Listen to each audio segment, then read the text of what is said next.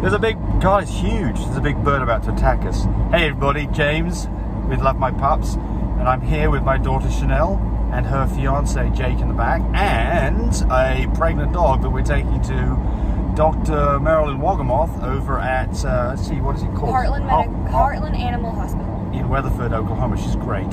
Love her. She's wonderful. She's She's, a Frenchie vet. She is a Frenchie vet. She's got Frenchies. She's Yep. actually used some of our studs, and uh, she's uh, making herself available with her crew at uh, 10:30 on a Sunday morning.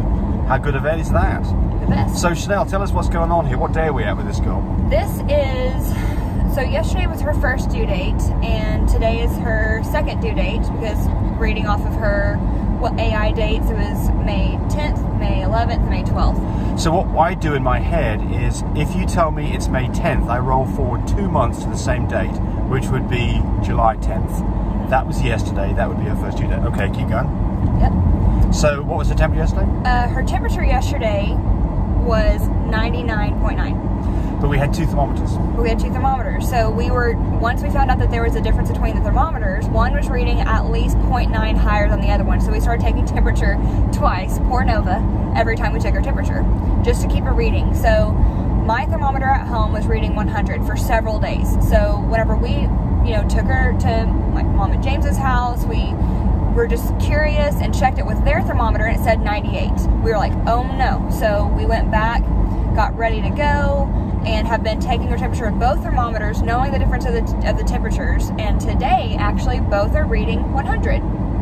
So, Yes, so I'm going to say something about that. Well, actually, there's a one degree difference still, isn't there? Because we put yes, it's still the- one degree difference, but they're both over Yeah. So, 100.0. so the the thing here is that I think that the first thermometer that you used is uh, a bogus thermometer. It's a Vicks brand. Right, and I mean, well, I, yeah, well, It's not from the puppy kit. no, the one from the puppy kit, well, I think is reading right. But but the point here is, look, you you could get into trouble with this because we think she wasn't ready. In fact, this girl is ready. Yep. How do I know she's ready? Yesterday, her progesterone was seven. Well, first, she has stopped eating. yes. And I will say this I stayed up with her all night long, and you know what I did? I went back through the YouTube channel, found James talking about when to know whenever your dog's about to go into labor, and I watched that at 4:30 this morning. She's a clever girl. It's there. It's it's free information. That's right. It is. So I didn't have to call them at 4:30 in the morning. I just took note of all her signs and took note of what he said and what's possible, how she can have all the signs or one of the one of the five signs, and it all was on point. So, so my experience with this is a dog that his temperature is less than 99, which I think this dog was. Uh, puppies within 24 hours. A dog that's not eating any food, nope. no food. Puppies within 24 hours. Yep. A dog that is uh, um, nesting, which she's been doing, Yep. She was heavily nesting at 4:30 this morning. which is typically puppies within 12 hours. A dog that is panting and shivering. She started panting on our way this morning. So about uh, you know eight o'clock this morning, she started panting. But last night about 4:30, heavily heavily nesting, and then about midnight last night, she started shivering. So I would think that if we left this dog to her own devices and we didn't do anything, she'd have puppies herself naturally in the next few hours. Yep. Which, of course, we're not doing that. Nope. I mean, we don't recommend anybody. That, I mean, of course, if you've got a Labrador Retriever or something like that, completely different deal. Both Frenchies, you know, we always do C sections. Um, but I want to get back to the thermometer for a moment. So, how do you know that the thermometer is working right? Well, the answer is is that you can use it on yourself. So clean it well, right? Yeah. you know, it may taste like shit on what, you know what I mean? I use plastic sheets on mine to make sure I'm Okay. being extra. Okay. But just stick it in your mouth. If you know what you mean, I know what my temperature is on a regular basis. Mine's a little bit low. My temperature is like normally something around you know 97.9. If it read that, I'd know that which thermometer was the good one. Of course, the other solution is just to get with two thermometers with different readings. You don't know which is the right one. You've got to calibrate it. So the next thing to do is get another thermometer and find out what's going on. But I think that that really could have been a hiccup for somebody. Is just simply relying on one thing, a thermometer. And that's the point about this is is that it's the only single thing that is completely reliable is a uh, progesterone test, Yes. which we did, and we're Tammy's going to re- give us that result here in about 10 minutes and call us up. Yep. And Okay. according to that video, there were five signs, and while they're all happening in their own time, it is very right. It doesn't have to be all five. It Right. could be, and they were happening at a scattered time, and my biggest sign was from what I know from my experience with living with my parents um, is the panting. And my goal was to leave as soon as she started panting, but instead, because the thermometers were not being, you know, completely reliable, or they were being reliable, but it's just made you question it. So we hit the road. Sorry about that. Moving things around here a little Yeah. bit. Just do this. There we We go. stay. There we go. Um, yeah. So uh, say something. I forgot what it is. Oh, well, here's the next thing. You want, you do not want to be. Look, we thought we might have puppies in the middle of the night. We didn't think so. We thought we'd. Yesterday, he thought it was gonna be Monday. Yeah. Well, I thought it might But be. we also were going off of a past past history with Kiki. Kiki was a 16, and then within 24 hours, she was a. Three. Let's do one six. Yeah. Yep. Right. And yesterday, Nova's progesterone test was 7.5, yes. and today, in less than 24 hours later, here We'll we see. are. We'll see. Yeah. So the thing I was going to say was we visited Dr. Wolgamoth yesterday with some puppies that were having um, examinations done. Health checks. health checks. And so we said, hey, look, we're going to have puppies in the next 24, 48 hours. Are you available? So we'd already got that. The, the point Well, actually, a week prior Yeah. to her date, I called, and you know, with summertime, if your vet is a traveler, get in there as soon as you have an idea when your first due date's going to be. Start making your phone calls. yes. So you don't want to be in a situation where it's four o'clock in the morning, you're trying to get hold of a vet, nobody will talk to you. Oh, I can Right? imagine. I could Yeah. not imagine Yeah, that you'd be in a- yeah, On exactly. top of everything else that's going on. Yeah, exactly. Well, you may be forced to have puppies, uh, you know, yourself naturally at home with all kinds of uh, risks that are associated with that. So the point here is, is good planning, which is what we're hopefully doing right here.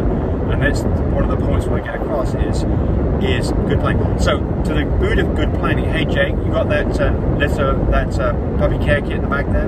Yeah. Grab that out. So here's the next thing: is we are traveling with our emergency kit. And, and so Jake's going to show us the various things. This is Jake in the background. Hey, say hi, Jake. Hi. Hi, Jake. We're in my car. We're not my mom's super giant spaceship car. So, Talking about spaceships, you know who's going to go to space today, don't you? yeah. Richard So- Branson. Yeah. Okay, I'm going to stop a second. Here's Tammy calling. We'll get right back to it.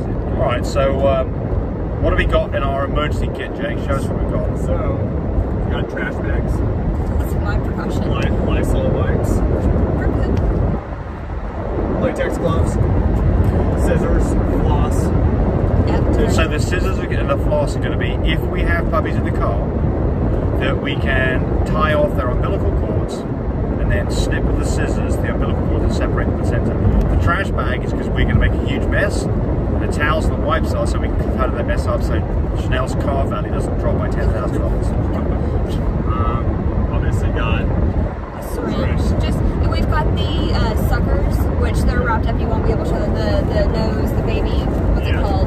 Is it Aspiration aspirators? bulb. Yep. Well, that's interesting because guess what I've got in my pocket? Aspiration. Well, the last time we went in there, they didn't have enough. That's right. They did. They had also one. didn't They, had, they had one aspiration bulb. So I thought That to myself. I thought to myself, you know what? I'm going to put an aspiration bulb in my pocket. Chanel brought one too. so we've got actually six in the car right There you go. So this is so that you can put them in their nose and let go, put it in their mouth, let go. Yep. Because think about this: when puppies are in mum, they're in an amniotic sac surrounded by amniotic fluid. And so they're not breathing that, they're getting all their oxygenation through the umbilical cord and mother's blood supply. Yeah. But the moment you sever that and they're out in the open, they've got to do this transition very quickly in a matter of a few minutes Or less. Yep, to, to breathing. And uh, when their lungs are full of fluid, of course, they can't breathe. And, and but that's one of the things we're going to talk a little bit at the end of this about what happens if you get puppies too early. But anyway, this is the thing, along, along with shaking them, um, bouncing a puppy with its head facing down. Yeah, you're just letting gravity, you know, in the vacuum internally kind of pull that up. Not not like an actual vacuum, but like yeah. Yep, so you're bouncing the baby. Um, kind of like this, with its head bent down. You've got to protect his head so you don't, you know, you don't want to yo-yo his don't- head. yeah. Don't drop the puppy. Make me slippery, of course. Secure like this. Yep. Maybe secure it Yep. like it's in a like it's in a thing. Yep, and wrapped up in a towel because you don't want them to get cold. Because the moment they come out, they haven't got mum's heat And you want to hang on to the usually the clamps are there, making sure the umbilical cord's there. So Yep. right when they come out, you get handed a puppy, clamps on its umbilical cord, and you got to hang on that umbilical cord and the neck, secure the neck, and do it in a way that you're not tearing the. I think what we'll do today is we'll do a video on that as they're born. Cool. Yes. So, yeah, we have. We'll do that. We're going to do a video for you. It specifically shows how you how you uh, get the fluid out of puppies. Okay, what else do we have? Is that is that it for our Uh, list? no, we got Vaseline. So the- So the Vaseline, super. Look, if she goes into labour, or if you've got a dog that you're going to have a natural whelp, the very first thing to do is get a good dollop of Vaseline and basically stick it up in the vaginal canal because it helps lubricate everything up. Huge difference Yes. between a puppy that gets stuck and a puppy that can be delivered naturally. Well, also, you're, risk, you're reducing the chances of tearing and infection. Absolutely. So Vaseline, very, very important. Probably the most important thing in the list. List almost. Yep. What else? And it looks like I'm guessing this is goat's milk. Yeah, that's just mine. Yeah, we've got some goat's milk and, and a feeding bottle and a feeding tube, but we're not probably using that I'm a right now. doomsday prepper, so I'm literally thinking, okay, what is the worst, very worst case scenario? Like if that a nuclear strike on the way there and you couldn't I'm get ready home. for a nuclear strike, honestly. Yeah, I'm and you'd be able to of save your babies, and you'd be able to continue the world of Frenchies. Would be would We be were continue gonna- on from just from from your line of Frenchies. We're gonna have a herd of Frenchies in our bunker. yeah, exactly. You wouldn't be eating any of them, would you? No. Okay, well, I was checking that thing. What else we got back there, Jake? Uh, we got nail clippers, and that looks like it. Okay. And it's also all enclosed in the incubator. Yep. yeah, okay. So that's another thing. Is is that you The know incubator. the incubator. So a traveling incubator that you can get from MyBreeder Supply that plugs into your car cigarette lighter, so that you can get it. So We've got it, the wall charger for a wall outlet, then we also have the car charger in case, you know. So So we we- will use it in the car on the way home. Right, and we will when we the moment we get into the vet's office, that thing's going to be plugged in and warmed Get up, warm. get it up to 104 degrees, When a 12 baby, degrees. when a baby gets all its fluid out and it's breathing on its own, takes its first breath, looks pretty strong, you put it in the incubator and you move on to the next baby because more likely you're going to be doing the, you know, uh, what's Henry Ford's name? Uh, yeah, line. Assembly assembly line. line, right. Well, the last time we had, well, you and I did this, Chanel, we had a litter of 10 puppies from Lola, didn't we? Yep. That was all hands on deck. Yep. I mean, there was really not almost enough people. I think there was uh, one, We were two, cycling in. four people there, wasn't there? Yep, there's four And the puppies are coming faster than we Not enough have. aspirator things. Yeah, not enough of these things. And I mean, it takes up to, you know, eight, ten minutes sometimes on a puppy to get a puppy going. It can be And quite that's- scary. That's too long, I think. I mean, you're, you're It is what trying to get them to get oxygen. and You're trying to get them because once they get that, they've got a better chance of being stronger whenever they take off on their own. And you know, Yeah, well, I mean, it's, yeah, you say that's too long. I mean, you just got to keep on going until they take a breath. Oh, yeah, Sometimes yeah. scare the crap. I'm not saying too long, like give up. Like you, you work until that puppy's. Yeah, yeah. that You don't want a situation where there's a puppy that's laying on the table waiting for its turn because you're Yeah. working on the puppies. That, that's what I think that's what you meant, wasn't it? Yes, exactly. Okay, Okay. so um, talking about this having puppies early, so think that um, the, the the you know if you took puppies a couple of days early that this would be a critical situation. I mean, it doesn't sound like.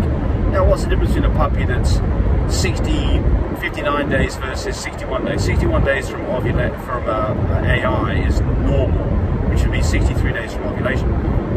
Why would you think it would make any difference? Well, the answer is a thing called surfactant, which is a chemical that the puppies produce that is triggered by progesterone levels, presumably, that lets them do the transition from being in the mother's belly with amniotic fluid in their lungs to being out in the air. And that surfactant is some kind of a chemical that's to do with getting rid of um, the amniotic fluid in their lungs. If you do this early, what happens is first thing is you see puppies that look like little birds with slick faces and bulging eyes. Um, that's a sign that you took puppies early, and then They didn't bake long enough. Yeah, baked long enough. A bad day because you're very likely to lose some or all of those puppies. You're taking its resources away if you take it out too early. Yeah. Because it needs every every last. You know, It's very tentative. The whole thing's very tentative. It's kind of you know it's a very fragile part of the whole living, giving birth cycle. It's getting the time. It's all there for a reason. Yep. So, um, to, to, to that end, I see a lot of my customers who have bred to our dogs, and we get involved in the uh, C-section timing, where the dog uh, who did the AI make the statement they're going to schedule the C-section just based simply on when they did the AI. And, and although that might be a tentative date, that's all it is in my book. It's certainly not the day that it's quite likely could be shifted a day or two either direction. And uh, you've got to pay attention to all of this. Every dog is different. Every timeline's different, and you need to go off your dog's timeline. Yep. You've got to let the dog let you know. That dog doesn't care what the vet said. That's right. What do you do, if the vet says, oh, well, I'm going on vacation, I'll be in Vegas that weekend? Call your backup vet. They call it backup vet. You have right. two, at least two backup vets. That's right. Yeah, that's right. So to have a relationship with different vets is a good idea. We have a relationship with, let's see, one, two, three, four, about five vets Uh, we've got a couple of vets that we do we use a lot. We've got five vets that we know personally, and uh, and sometimes you know, especially when it's school holidays, that you know some vet and it's a Memorial Day weekend or whatever, where you may have a hard time getting into a vet. So you know, be be be proactive about this. Have something set up ahead of time because if you don't, you're right. And just this is the end of this video, but please don't just summarily decide you're going to schedule a C-section based purely on the day that you did the AI. That is a recipe potentially for disaster. And I would guess 10% of puppies, Frenchies, are taken early with bad consequences. Very bad. Yep. Okay, what else, Chanel? Um, Fingers crossed. fingers crossed. How many puppies? I think four. I really think four. But we've always been surprised. That's right. I think four as well. What we're hoping for is this, healthy puppies. Yes. That's what we want. Yes. We'll, we'll take what we get. We just want healthy puppies with a good outcome. you say the progesterone? Yeah, actually, her progesterone level is actually still a little bit above three, but we're going to go ahead and do this. And that, so I don't like to give out that advice because I tell people three or less, but but I've got all the other signs that let me believe that. And the thing about progesterone is it does drop. It can, it's very variable in the way that it drops. Um, but we've got a girl here that's got all the signs that she. signs. All the signs. She's not eating food. She's had a temperature drop below 99. She's nesting. She's panting. Are the one day after her first AI, and we've got a progesterone level that's close. Again, this is all from doing your due diligence on understanding what's going on, not just saying, oh, well, the progesterone says five, I'm not going to take her in, I'm not going to call my vet. Well, she's showing signs, you know. And I did a I did a dilation check too. I put a glove on. I saw how open her cervix is. It's nice and open and very Yeah, she lost her mucus plug yesterday. She lost her mucus plug. Which, by the way, when we're talking about that, is is that the cervix has some mucus that forms on the front of it to stop bacteria getting in. And when she starts to dilate, that drops out. But that can drop. That's not a very good indicator of anything because it can happen That's what made you say Monday. yeah, it can happen two weeks beforehand, and it can happen not see it at all. So I, I don't. All I can tell you is if I see a mucus plug, I'm pretty sure a dog's pregnant. That's about it.